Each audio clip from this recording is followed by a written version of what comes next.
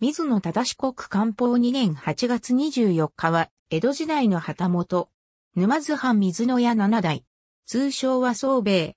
信濃国松本藩三代藩主、水野忠直の旧男。四代藩主、水野忠親の弟。子は、水野忠友、松平真治、娘、娘、娘。神は、出羽守る。老いの松本藩主、水野忠常が、享保10年7月28日、調布藩政使の毛利氏治に対して、人情沙汰を起こし、忠常は改易となり、川越藩にお預けとなった。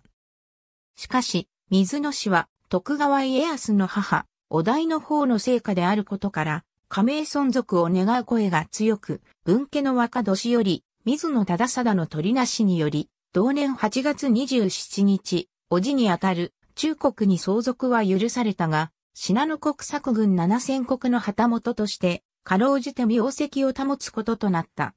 その後、江戸屋敷に忠常を預かっている。公録の旗本として、元文元年1月28日に提出し、同年10月15日に書院番頭となる。同年12月16日には、15位下、では守るに除任している。元文4年3月15日に大番頭となり、後に大阪城の守衛となるが、官報2年に36歳で死去した。聖子の忠友は、後に田沼沖継の下で画像を受け、大名に返り咲いている。ありがとうございます。